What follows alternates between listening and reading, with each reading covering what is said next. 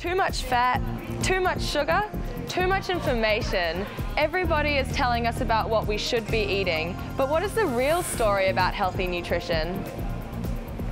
Hi, I'm Hannah Burgess and I've come to the Liggins Institute to get the inside story about food and how it affects our health from someone who ought to know, nutrition professor David Cameron Smith.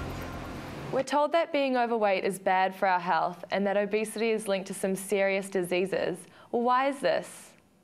Obesity is a really serious condition, and although you may not experience symptoms now, you are at much greater risk of developing type 2 diabetes and cardiovascular disease. These are diseases that significantly impair your life. That's called morbidity. But they also lead to an increased risk of early death, and that's called mortality. And how obesity leads to that is a very, very interesting question.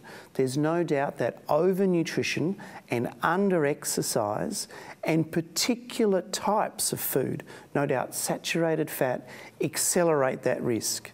And it accelerates that risk very subtly, year in, year out, such that you find yourself in a situation where you are very unwell.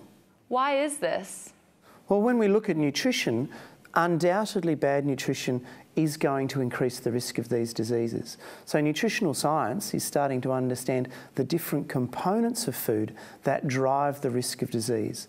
And that's increasing the expression of genes that are detrimental and are involved in the development of the disease. But on the other hand, there's so many good things about nutrition. There's no doubt that good fats, good proteins and complex carbohydrates and all of the wonderful vitamins and minerals that you get in good food reduces the risk by turning off some of those genes, by modifying your metabolism to improve your health. Well, what about exercise? Oh, glad you mentioned exercise because exercise is one of the most important components of lifestyle.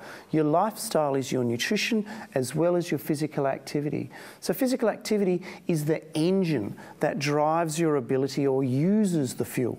So, with exercise, you're turning the motor over, you're using that energy, and that helps regulate your metabolism positively. Does that mean it's too late for people who already have these diseases? It's never too late to do something positive about your health.